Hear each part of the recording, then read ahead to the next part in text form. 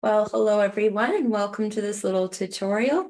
Um, this tutorial will be available for you to watch on YouTube for a short time and then I'm going to move it to my Patreon channel where you can watch little tutorials like this for 10 as little as $10 a month gives you access to the short tutorials and today we'll be painting this um, kind of winter scene that I found um, on a royalty free website called um, Unsplash. And it's just sort of, you know, at the photo looks pretty dull and boring, but I thought to keep it simple, um, we're going to be painting. We did an um, one of these paintings earlier this month where we start from a black canvas, and this is a miniature landscape painting. This is only, um, I think it's, yeah, this is five by five inches. And these uh, you can get at Michael's, just the artist loft canvases. And they come in um, like a two pack. So to start off, I've got out my paints. Uh, black and white are up here. I've got yellow ochre, um, cad yellow light, cad re red medium, alizarin, sap green, viridian, orange, transparent red oxide, brown oxide, cobalt blue, ultramarine blue, and quinacridone red. So um, let's see if I could find that little painting. I did, oh, there it is. So I did this, um, this one before, and this is how it kind of the look you get when you start on the black and then you kind of fill in. It's almost, it's sort of fun to do. So I hope you stay with the video and watch it to the end. Um, this one will be a little different because we're doing sort of more, that was sort of for fall, and this one's for winter. So I kind of took the reference photo and I did a little thumbnail sketch of it. And kind of the idea I have was you've got sort of these four main planes here. You've got the water, you've got a lighter layer, these two layers of like farmland, and then you've got this mountain area back here. And then some sort of, you know, wintry looking trees. So I wanted to keep it really simple and kind of have fun with it. So it helps to do a thumbnail sketch just to give yourself some idea of some of these horizontal lines and you know because we're painting on black you could break the sky into sort of some nice shapes this darker blue area and then this cooler area. You could kind of even break the sky up into some neat um, shapes. So I'm going to keep that where I can see it. And then I'm going to get my little miniature canvas here and see what we can do. So I'm just getting my paper towel ready. And because it's a small canvas, I'm just gonna switch brushes here and use, I'll just use a small brush to start off with, just to kind of draw in some of the lines. So this is just a little round um, brush I have. So what I could do is, I also put out some of this cobalt turquoise. I thought that would look kind of like a nice wintry water look. So I could start by using some of that just to draw in um, where the leaving space for my trees. I'm just gonna kind of put in a little bit of a line for where the shore is on this landscape. Just kind of start somewhere, leaving space for the other tree. And then you've got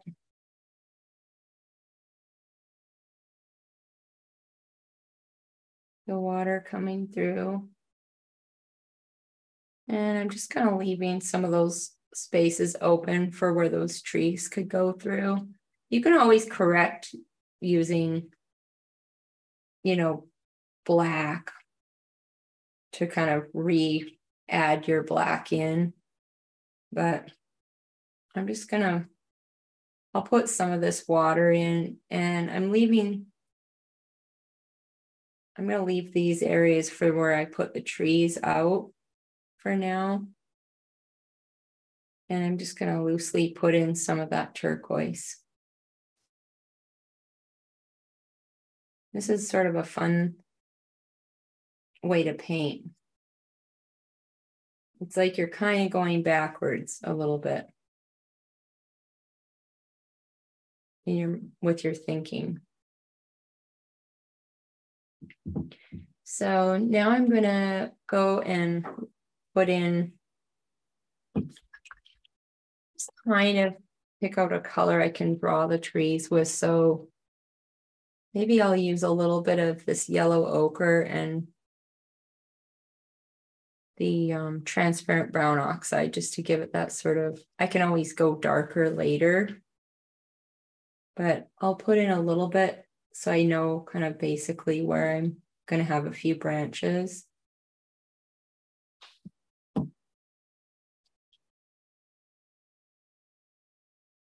Just a real rough draft. I don't want lots of, I don't want every single branch in right now, just sort of a really, really rough draft.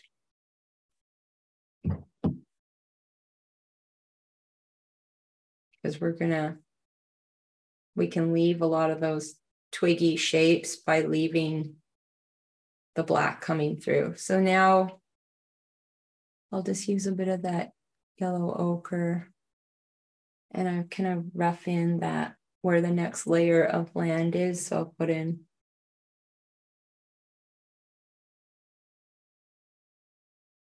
the next layer.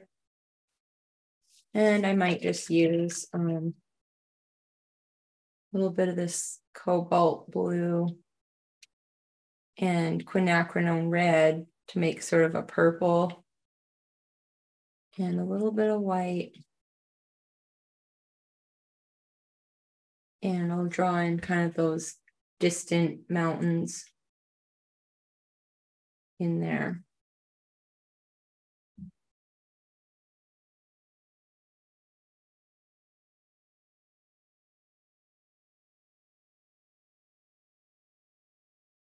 Just leaving lots of room for where the those twigs will go. And I'll mix a little more cobalt blue in there and put in some more detail. I'm leaving space between where the land is and where the mountain is. So be careful when you paint and to leave those little details.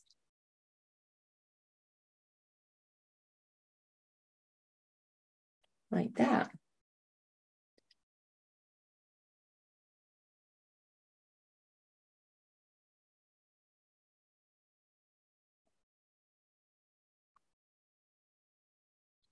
And then we just got to think up a kind of a color for the land in between. So it looks sort of pinky purple, all those dead, all that dead grass and everything. So we can mix up a few colors. I'll just use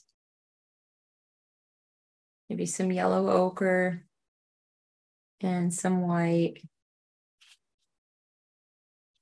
A little bit of viridian in there just to kind of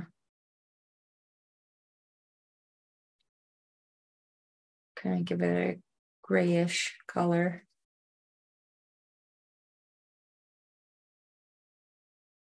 And we could see what that kind of neutral color looks like and if we want to use it.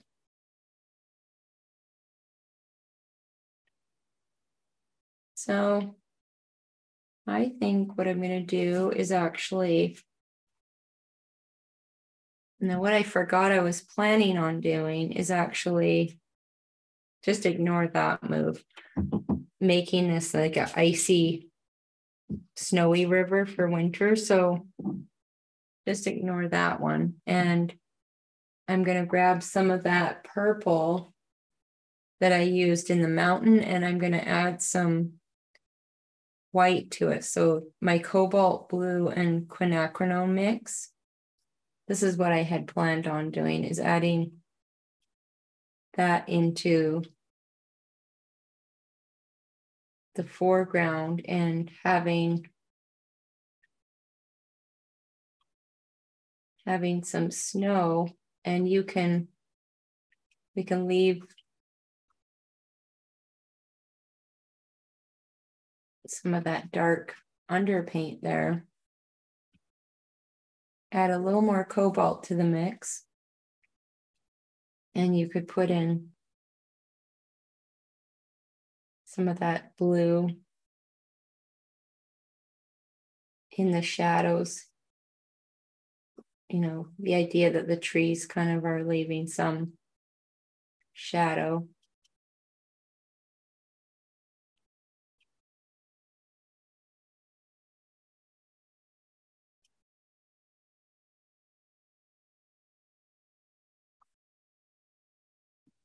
And then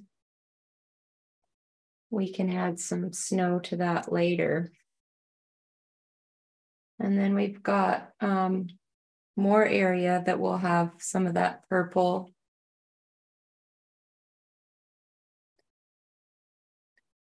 I always got, you know, I was looking at my reference photo when I was doing this thinking, and I lost my train of thought because the reference photo doesn't have any snow, it looks really cold and like everything's sort of died off around the trees and everything. So, but then I forgot when I started painting what my plan was. So now I'm going to leave those little bits of black there.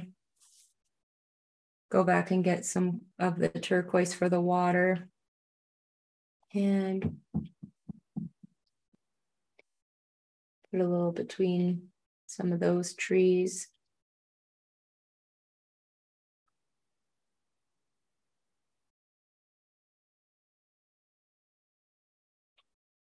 Just sort of simplify some of those lines so it's not so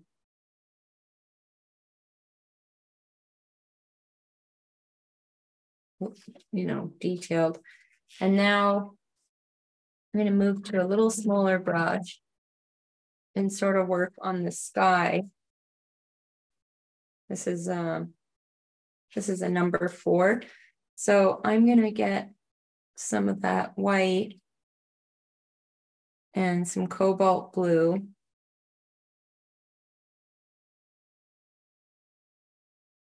And you could even put a little turquoise in that cobalt teal in the sky. And I'll start off by kind of putting in, maybe make it a little darker. I want it to be a little dark in the top.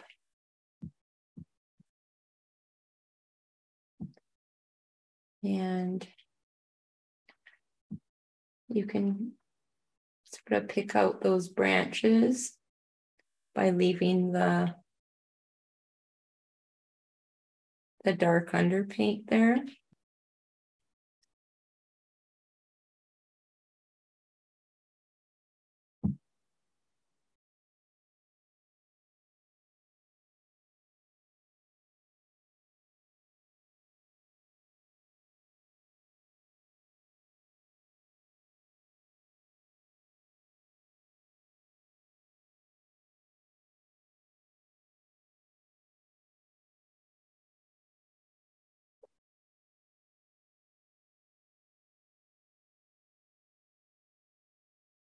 And I'm just sort of just randomly, you know, making these shapes.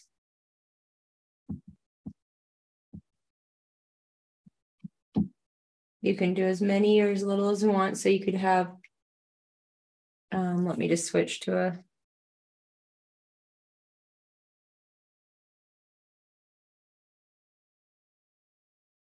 I'll just uh, switch to a smaller brush for a sec. And so if I was to build it using like this little one flat, well, I could do a whole bunch more detail. So, you know, you could work on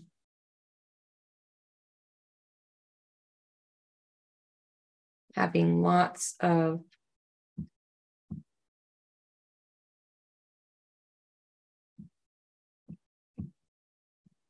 lots more of those little sky you know coming through those branches and keep you know building a lot more details. Like you know as, as much as you want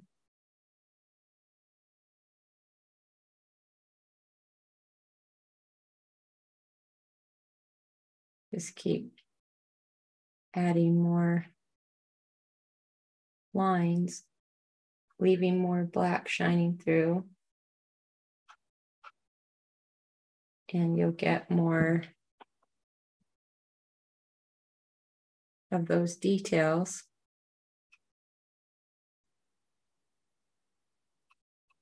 It's sort of a uh, reminds me of those coloring books that you can kind of color in. And, and it's sort of relaxing, you know, to do something different like this.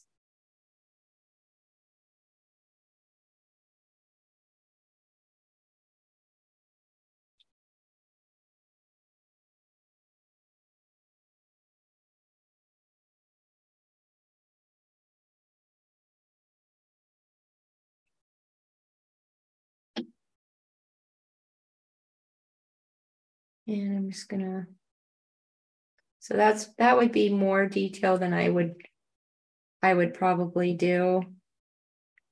But we can always go over it later and delete some of the,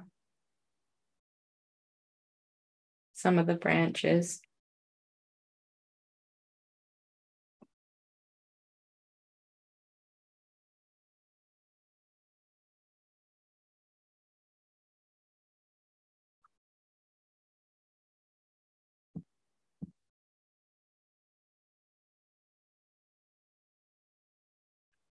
And as the sky gets lower down, can add a little more white to that.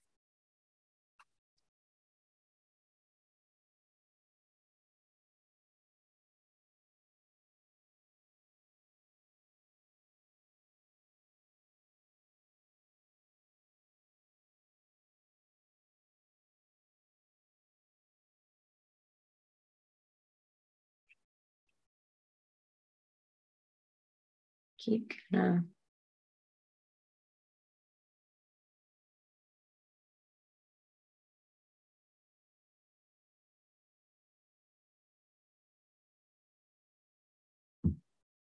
of going with it and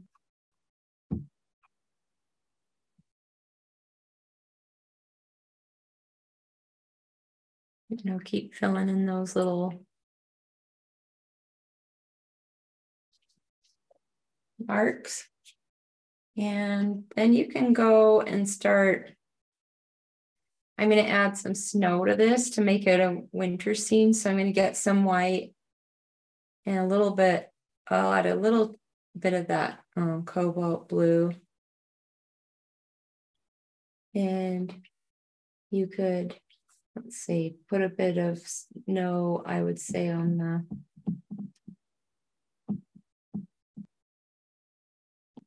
in the foreground here and can kind of blend it in with that purple. The purple is sort of like the under, kind of like the shadow.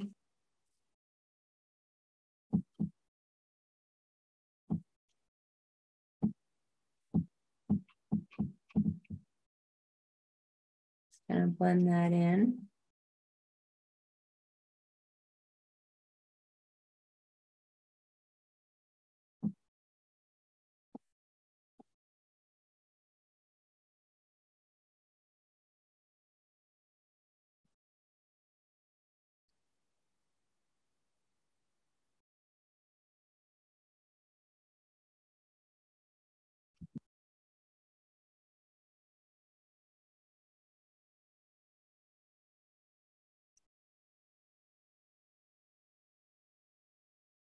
Just sort of blend in some of that, those lines there. And you can put in a little bit of that snow on some of the branches.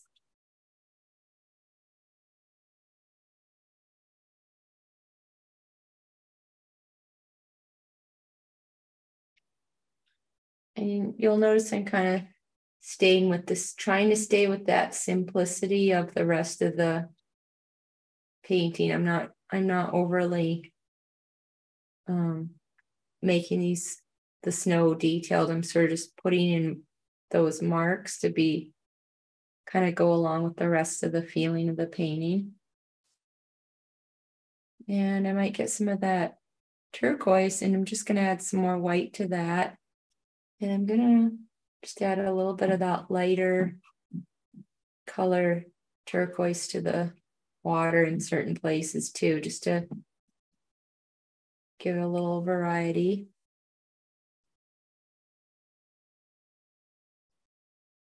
Gives it that icy look.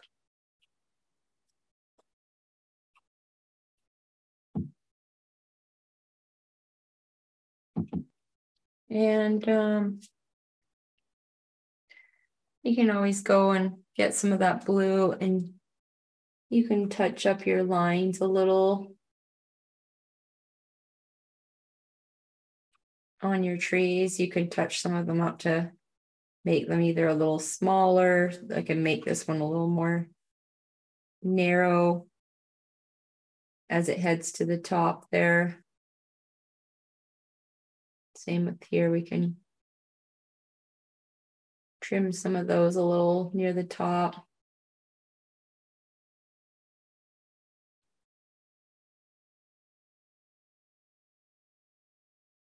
And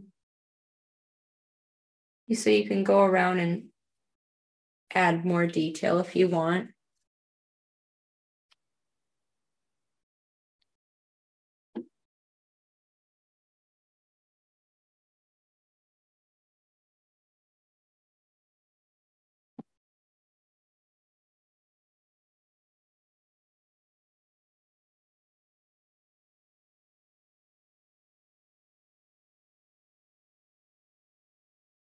Just going to add a little more here and there.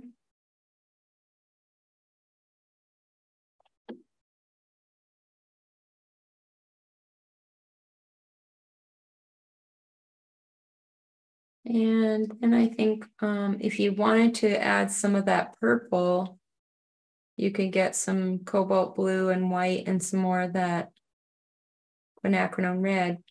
You could lighten some of the branches using some of that um, purple color in in there just so it's they're not all the same.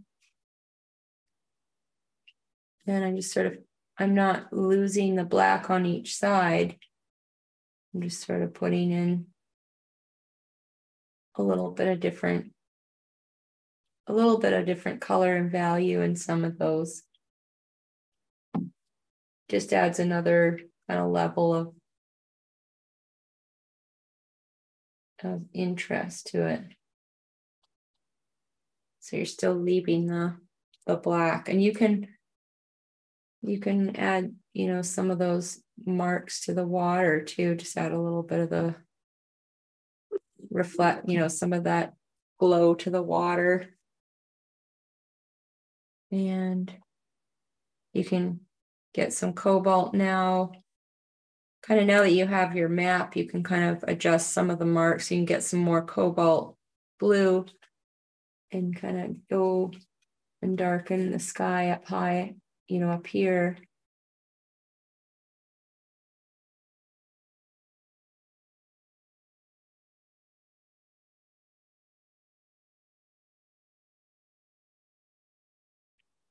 Or if you want to add some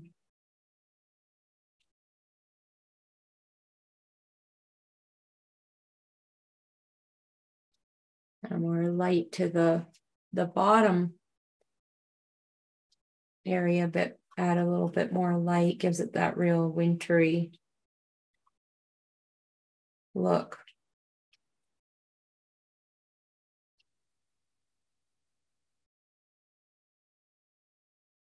Bring a little bit of that up there. And just add a little white to that purple mix and we'll put a little bit of that snow on the surface of the ground across from the across the river there.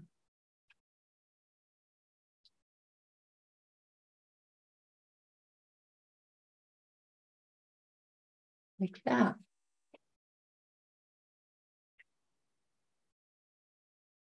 And then if you wanted to, you could get a little bit of that white and put a few Christmassy, wintry, whatever snowflakes coming down.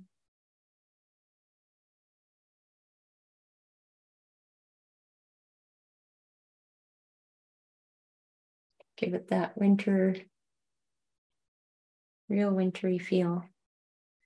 So if you were to make a mistake and you've got, say you wanted to go back and maybe add back some black that got erased, just go get some black and you can kind of redraw some of the black that you, if you lost some of it.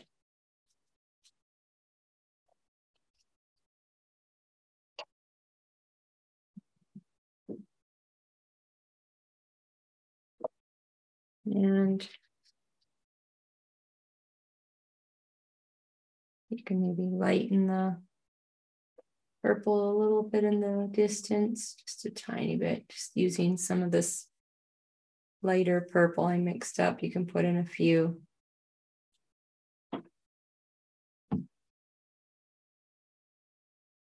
You know, just to add variety to it.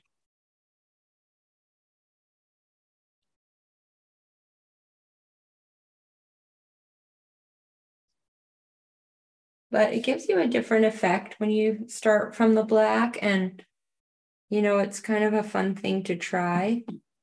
So i hope that you like this video and i have another one um that i did for painting like a fall a real basic fall landscape too and that's on the patreon channel.